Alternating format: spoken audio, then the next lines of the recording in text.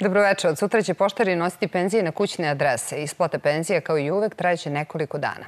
Da li to znači da će i svi šalteri u poštama raditi i da ćemo uskoro dobiti račune?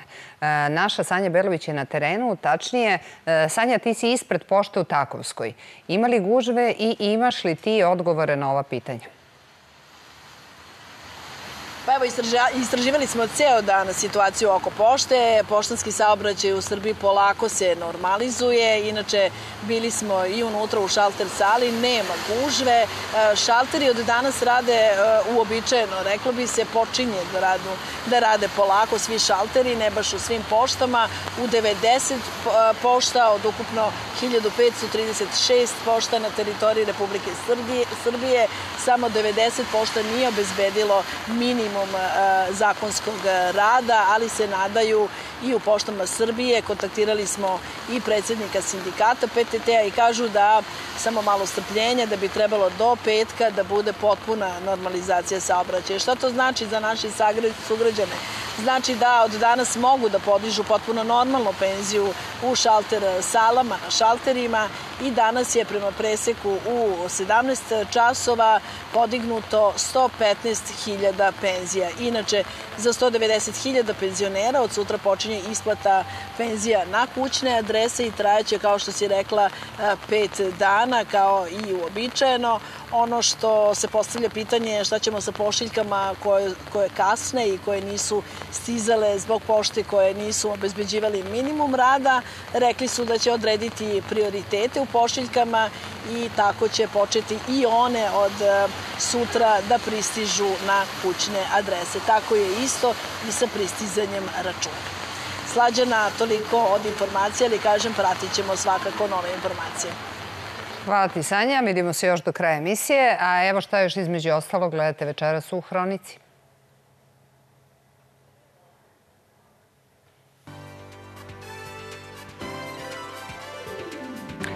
Kraj godine mogu li zgrade koje nisu iskoristile novac za održavanje u gradskom stambenom da ga prenesu u narednu godinu? Posle 15 godina Torlak je proizveo novu vakcinu protiv gripa. Hoće li stići na tržište pre epidemije? Pred tradicionalne koncerte u centru Sava gost hronike Haris Džinović.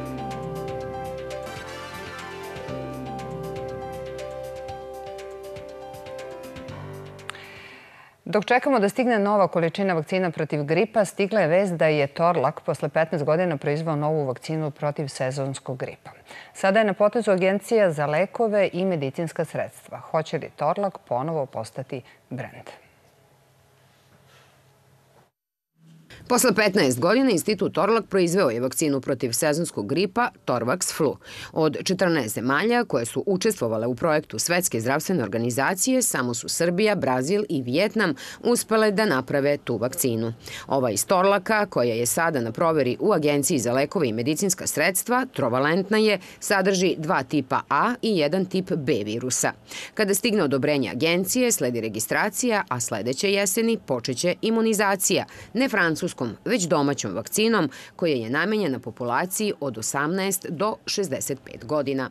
Institut Torlak će e, ove i narednih godina proizvoditi trovalentnu vakcinu protiv gripa, splitovanu inaktivisanu. To znači da će svake godine proizvoditi vakcinu trovalentnu u zavisnosti od sojeva koje preporuči Svetska zdravstvena organizacija. Znači jednom osvojena tehnologija u proizvodnji vakcina je osvojena tehnologija i ona će se nadalje tokom godina ponavljati. Sojevi će se menjati u skladu sa potrebama, odnosno sa proglašenim sojevima koje daje Svetska zdravstvena organizacija. U specijalnoj laboratoriji na Torlaku u ovom trenutku može da se proizvede 150.000 vakcina. Međutim, iz godine u godinu taj broj će se povećavati do maksimalnih pola miliona doza.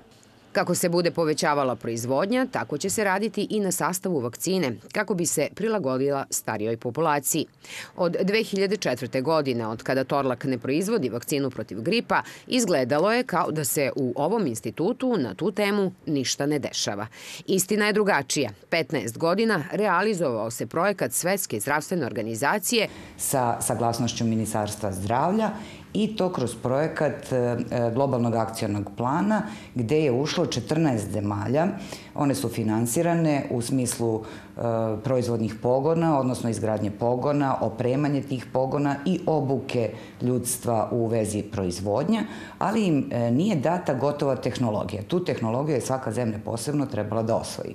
Mi smo kroz ta sredstva i kroz e, taj projekat uspeli da osvojimo tehnologiju i to e, za još jedan korak e, savremenije vakcine, To što Torlak, zahvaljujući opremi obučenom kadru i osvojenoj tehnologiji, može da proizvodi vakcinu protiv sezonskog gripa, znači još nešto. U slučaju pandemijskog gripa može da proizvede i tu vakcinu, i to u količinama koje su potrebne Srbiji.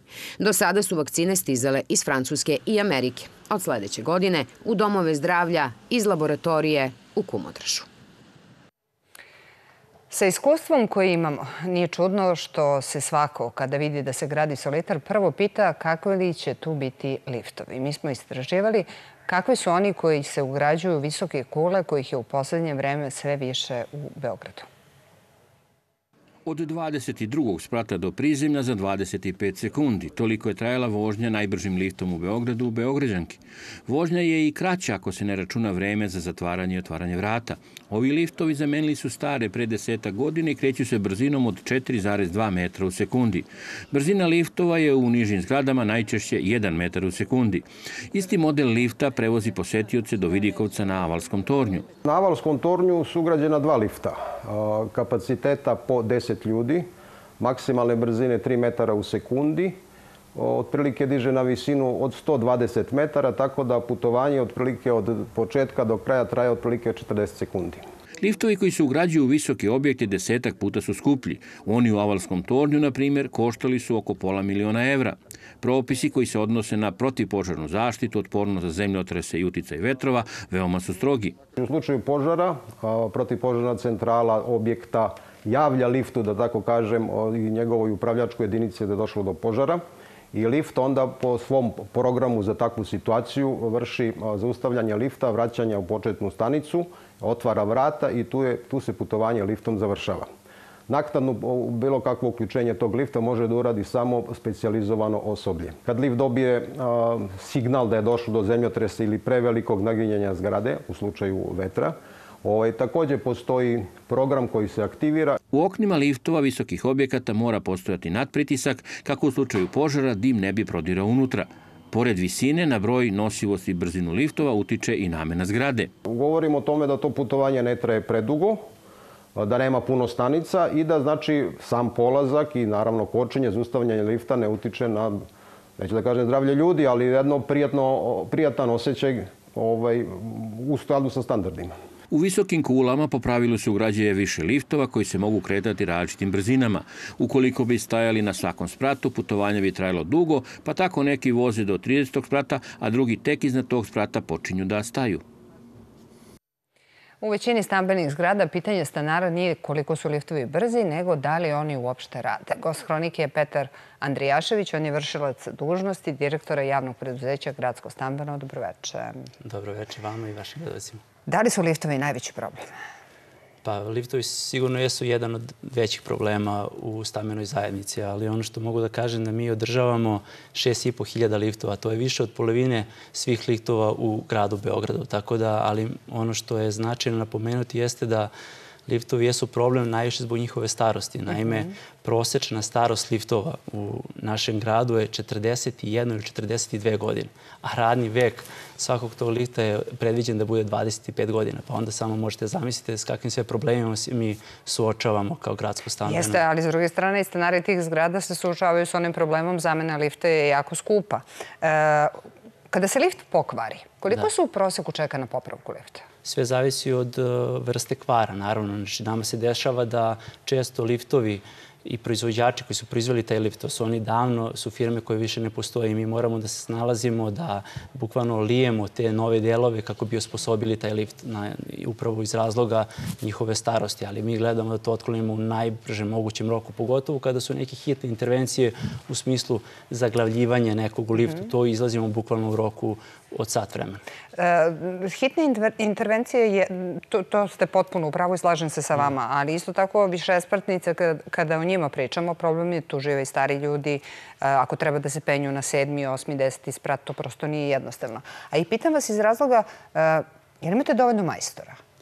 Problem sa majstorima svakako postoje. To je višegodišnji problem. To je višegodišnji. Evo mogu da napomenem da smo čini mi se, pre 28 godina je zadnje odeljenje koje je bilo u, u mašinskoj školi u Rakovici ukinuto. To je bilo odeljenje za lift montere i mi smo čak imali jednu inicijativu prema Ministarstvu prosvete da se ponovo oformi jedno takvo odeljenje mm -hmm. i čime bi mi tim učenicima nudilo prvo praksu, a kasnije i zaposlenje u našem preduzeću kako bi ponovo taj zanat oživili. Kao što ste rekli, to je bukvalno zanat koji je u odumiranju. Ali mi se snalazimo i rešavamo te probleme. Kako ne, pitam vas zato što iz, nekog, e, iz prostog razloga što će ti ljudi u nekom trenutku morati da odu u penziju i njih neko treba da nasledi. E, I sad ne bih da ulazim previše da. u ono što se zove poslovna politika, ali imati dobar zanat u rukama znači imati i solidna primanja. Jesu li liftađije solidno plaćene? Da, svakako da jesu. I velika je potražnja za njima, tako da mhm. jesu, ali ono kako dolazi nova tehnologija i novo vreme i ti liftovi su novi, tako da oni ranije liftovi su mogli na taj način da se popravljaju, a mhm. sada za nove lift majstore su potrebne i za nove liftove neke druge veštine. E, postoje oni beograđani koji kažu e, usluge koje, se, koje obavlja gradsko stambeno su nekako najviše. Kažu vi ste najskuplje na tržištu. Je li to tačno ili nije? To apsolutno nije tačno. Ja mogu da vam i dam primer konkretan. Znači, kod nas za stanove koji su u zgradama bez lifta se plaća održavanje ispod 11 dinara sa PDV-om i u zgradama sa liftom je nešto ispod 18 dinara sa PDV-om. Tako da ja mislim da smo to ubedljivo najjeftiniji ne samo u Srbiji, već u celom regionu.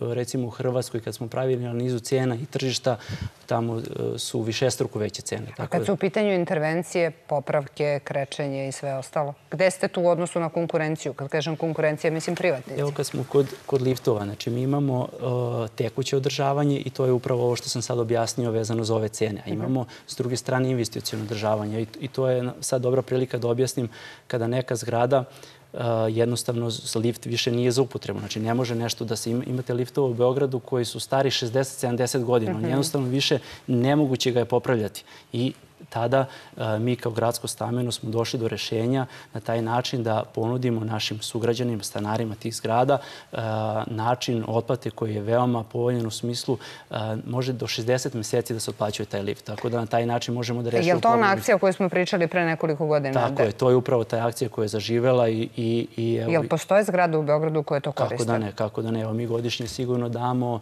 što se tiče lifta negde preko 400-500 ponuda za sam lift ne budu sve prihvaćene, ali apsolutno građani su prepoznali prednost toga, tako da e, kada se podeli na taj broj meseci, to onda ne bude ni neko veliko opterećenje za samo domaćinstvo koje treba da izdvoji novac za to. Umeđu vremenu je Skupština grada, ja mislim na poslednjoj sednici, donala odluku da pomogne Beograđanima tačnije to će ići preko opština, e, subvencionisanje do 90%. Jel to ima veze sa e, gradskim stambenim? Eh, svakako gradsko stambeno ima odlične odnose i sa svim opštinama, ali ta odluka koja je donešena, to će opštine same u okviru svojih mogućnosti. A vaši radnici hoće li raditi te poslove ili ne? Pa zavisi o kojim poslovima je reč. Oni samo oni mogu da uređuju i uh, prostor ispred zgrade. To je nešto što naše preduzeće ne radi. Znači, mi se pričamo, samo... pričamo o liftovima, krovovima i fasadama. To se na to odnosi. E, ne, to, svakako ćemo to raditi zajedno u saradnji sa opštinama. Da.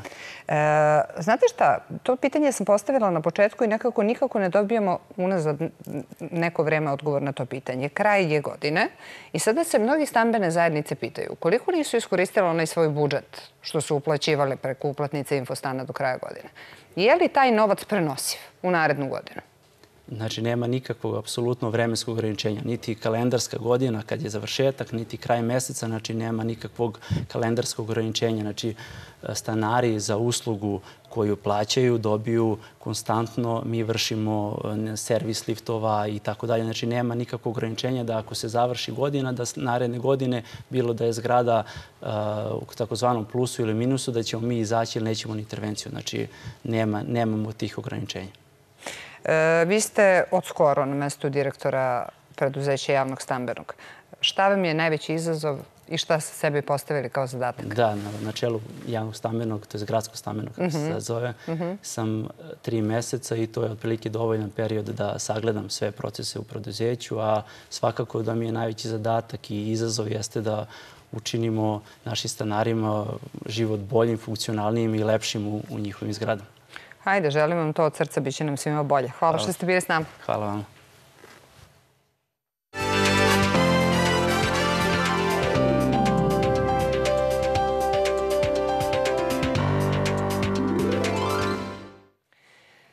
Ime Siniša Mihajlovića u poslednje vreme, nažalost, najmanje se vezuje za futbol. Ceo svet pratio je dramu kroz koju je prolazio poslednjih meseci.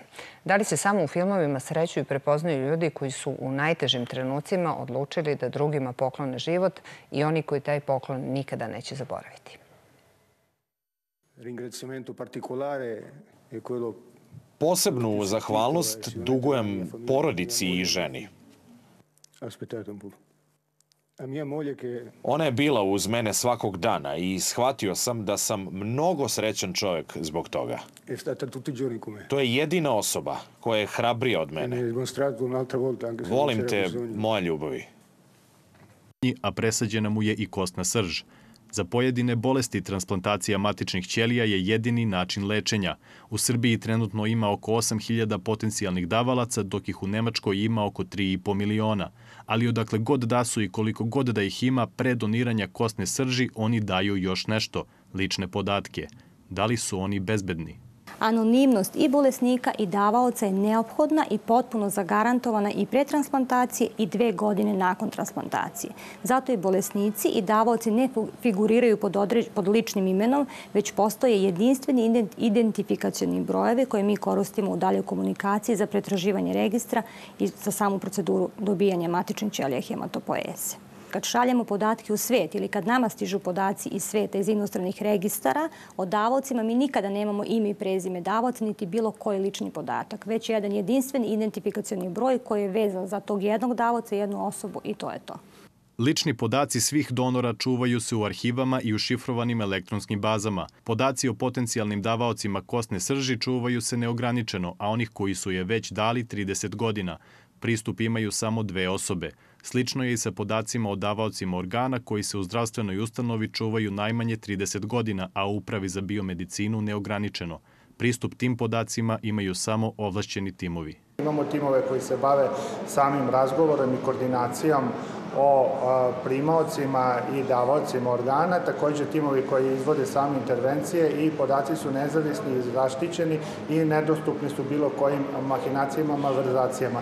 Moram reći da su podaci ličnosti primaoca i davaoca zabranjeni i za korišćenje bilo, u bilo kakve statističke i obrazovne svrhe. A od prošle godine više nema donorskih kartica. Po zakonu svi punoletni, a u saglasnost porodice i maloletni građani potencijalni su donori organa, osim ako se za života ne izjasne suprotno.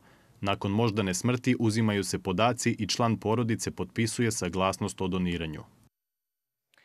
I ove godine iz gradske čistoće opominju građane da su se pojavili lažni radnici čistoće koji traže novac. Sanja, šta su još rekli u tom javnom preduzeću? Tako je, upravo su se i uglasili iz ovog preduzeća, iz javno-komunalnog preduzeća Gradska čistoća, da ne nasedaju na prevaru ljudi koji posećuju sugrađene ovih dana. E, sem što imaju sličnu garderobu, ništa više e, nije istinito u vezi njih. Oni uglavnom traže e, novac, navodno u humanitarne svrhe ili u zamenu za novogodišnje čestitke. Inače, oni kažu iz preduzeća da prosto imaju obavezu da upozore i apeluju na, na sugrađene sugrađane da ne nasedaju na takve obmane, jer izuzev uniforme, kao što sam i rekla, ništa drugo nije istinito u vezi sa njima. Znači, oni savetuju da ne stupaju u kontakt sa takvim licima i da odmah sumnjiva lica prijave policiji. Eto, inače u Beogradu i dalje kiša pada, možete vidjeti iza mene ugao Takovski ili Garašanina da je velika gužva, budite obazrivi u saobraćaju, nešto veće gužve ima i na Pančevačkom i na Brankovom mostu u ovom trenutku. Slađo. Hvala ti, Sanja. A poslednjih 10 dana radnje i restorani iz dostavljenih vozila mogu da se snabdevaju samo od 20 sati do 7 ujutru.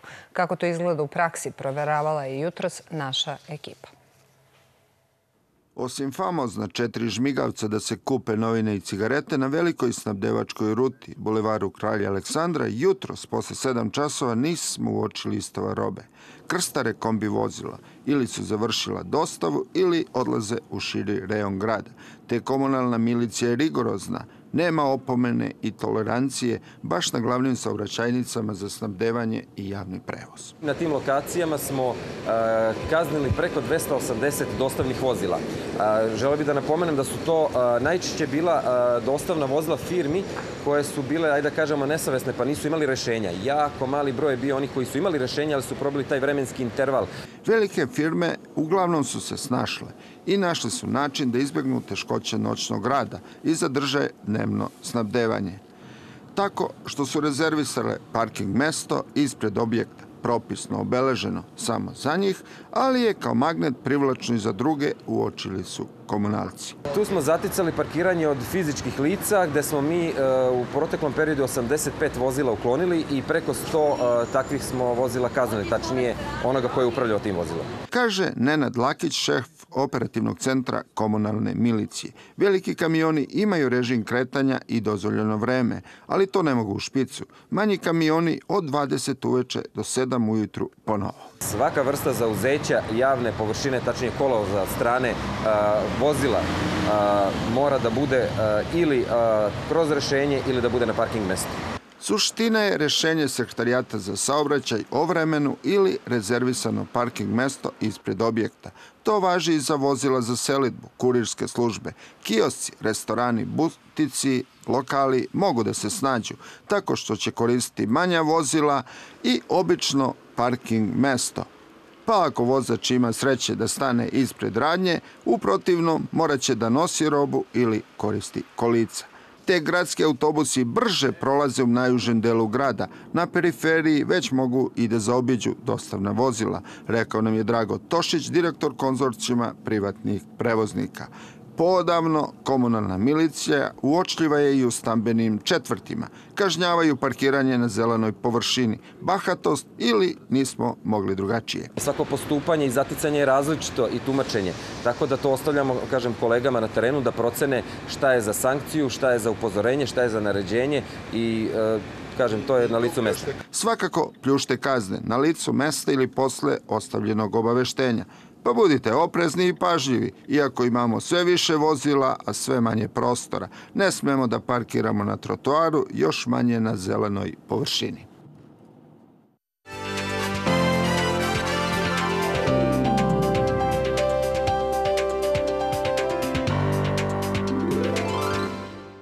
Dakle, i ove godine on ostaje veran tradiciji. 25. i 26. decembra održat će koncertre u centru Sava. Gost kronike, Haris Džinović, dobroveče, dobrodošli. Dobroveče, bolje znaš. Dakle, ulaznica gotovo da više i nema. I da li to znači da ako bude toliko veliko interesovanje da će se pojaviti treći koncert, pa možda i četvrti? Dobro. Ne vjerujem da će tako biti. Ovaj, mislim da ova dva budu kako treba, to je super nekako mi sad zvučite skromno da budu kako treba. Pa biće kako treba, pa što ne bi bili. Vi ste obećali najbolju moguću pripremu za novogodišnju noć i to nekako tako i bude. Pa ne znam, evo, do sada je bilo tako, vjerovatno ćemo je nastaviti. E, je li vi možete da osetite na samom početku koncerta, kad izađete na binu? Šta obećava taj koncert? Šta obećava publika koja je u tom trenutku u dvorani?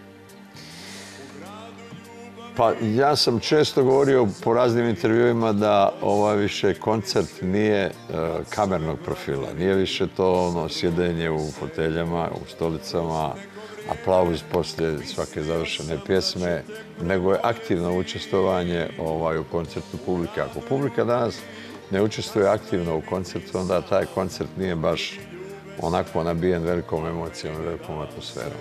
Dobro, vi ste poznati po tome da vrlo često znate da promenite, e, kako se zove ona lista pesama poređena na početku svakog koncerta? Da znate da potpuno promenite repertoar, da pa sednete, da pevate s publikom? Ne baš potpuno da se promeni repertoar. Ja sam gradio, baš naprotiv, ja sam gradio repertoar preko 20 godina, formirao ga kako treba da ide. Od prilike sam našao tu formulu redoslijeda o, repertoara.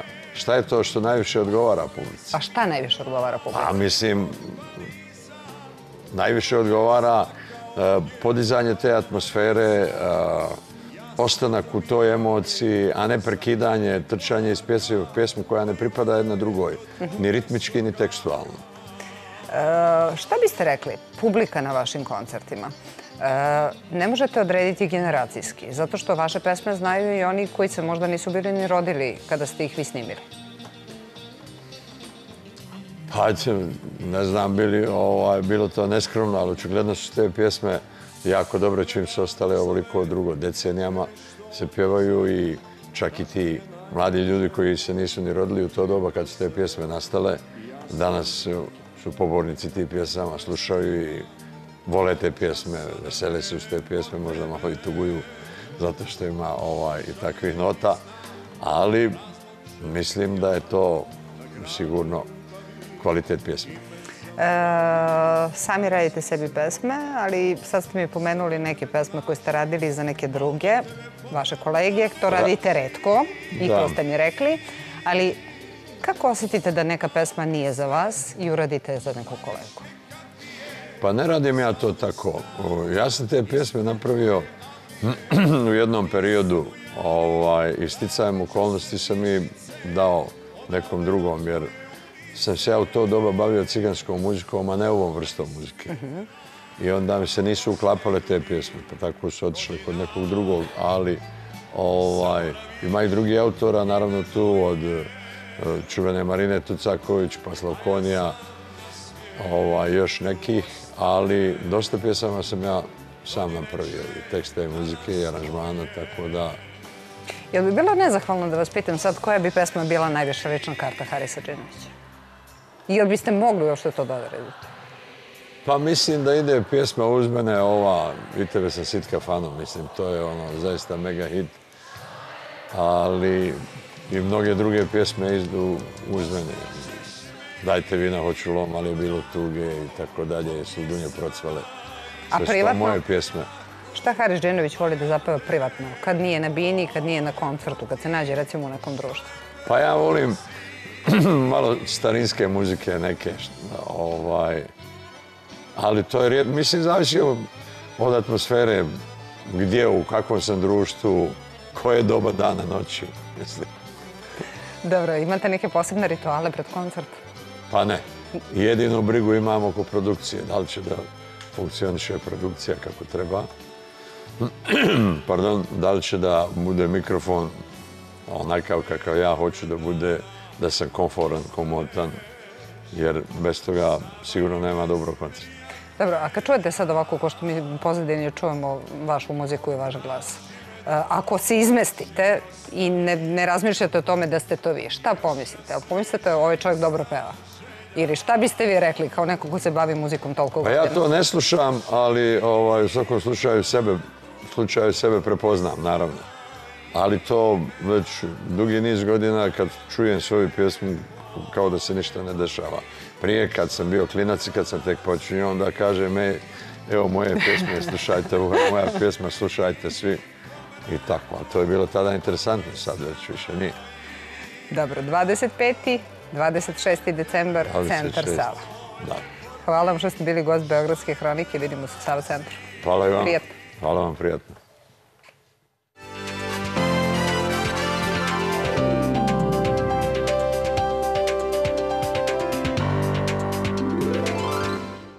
U Beogradu trenutno 6 stepeni. Naredna dva dana temperatura slična današnjoj, a u petak 11 stepeni. Slede Beogradske vesti.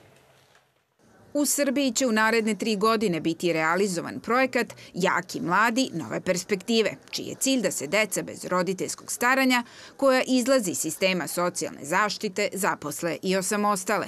Zamenik gradonačelnika Goran Vesić najavio je da će u januaru potpisati protokol koji će im omogućiti da konkurišu za zaposlenje u gradskim javnim preduzećima – U prethodne dve godine renovirane su četiri stana za decu bez roditeljskog staranja, a uskoro će biti završena još dva.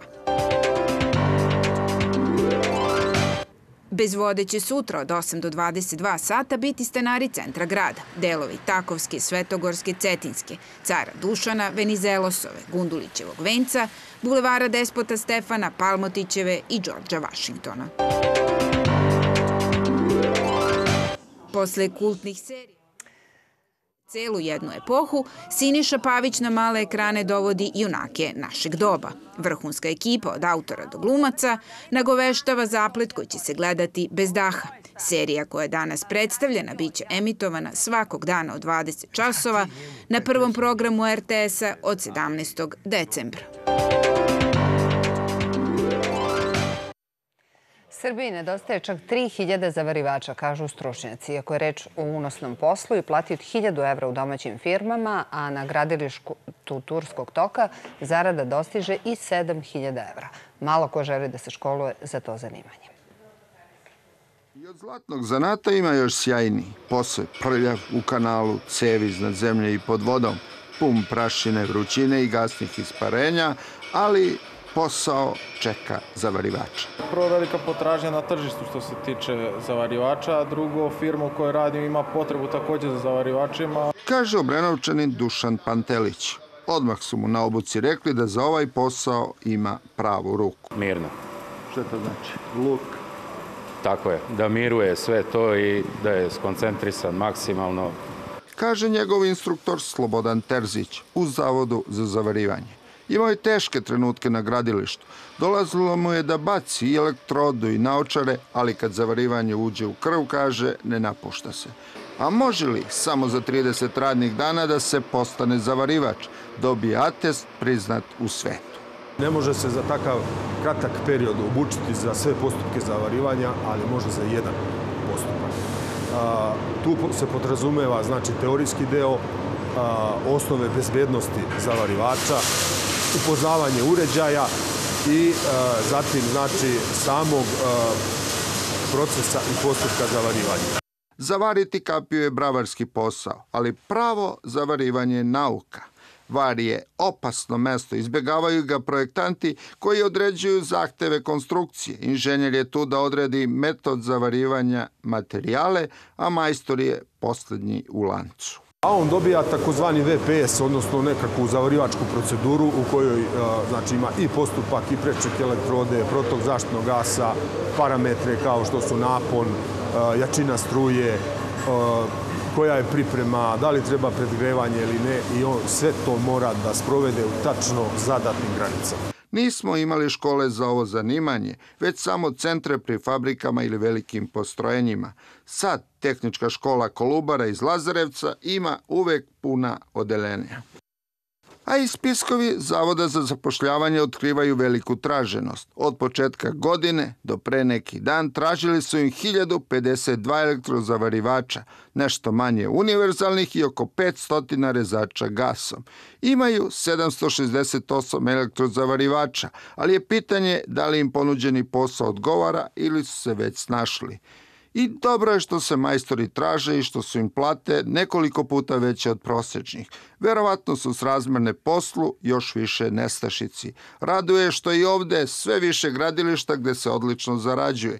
Pa ako je nekom i do porodice, može se vratiti. Zanat je uvek zlatan i kad ta dođe trenutak kad baš zablista. Naša dežurna ekipa je i dalje na beogradskim ulicama. Sanja, da li kiša još uvek diktira uslove vožnje? Kiša diktira uslove vožnje definitivno i baš pada jakim intenzitetom. Vidite da gotovo niko nije bez kišobrana koji kiša pljušti u Beogradu. Međutim, potpuno neobičajeno ovde u Takovskoj ulici gde smo navikli da bude velika gužva, saobraćaj potpuno uobičajeno, kao da je nekih 10-11 sati ujutru čak i nema guže u Takovskoj ulici, međutim iz uprave saobraćene policije kažu da ima gužve na onim uobičajenim mestima na kojima smo navikli kada je večernji špic u pitanju, a to, je, to su mostovi, naravno autoput u pravcu ka Nišu, kod Novog Beograda, kod Beogradske arene, ali kažu iz uprave saobraćene policije da je bilo samo manjih udesa bez povređenih lica. Na svu sreću, nema e, saobraćenih udesa, sve onako protiče kako i valja u glavnom gradu. Hladno veče u Beogradu, meteorolozi kažu da će kiša biti sve do sutra, do jutarnjih sati i da će biti dosta hladnije nego danas. Maksimalna dnevna temperatura sutra samo 4 stepena. Slađo. Hvala ti Sanja na uključenju. Ovo je i kraj današnje emisije Beogradske hronike. Naš YouTube kanal je BGDTV1, portal RTS-a www.rts.rs. Pratite nas i na multimedijalnoj platformi RTS Planeta. Dakle, vi ostanite uz RTS, rada je sa vama sutra. Ja vas pozdravljam, vidimo se u četvrtak. Doviđenja.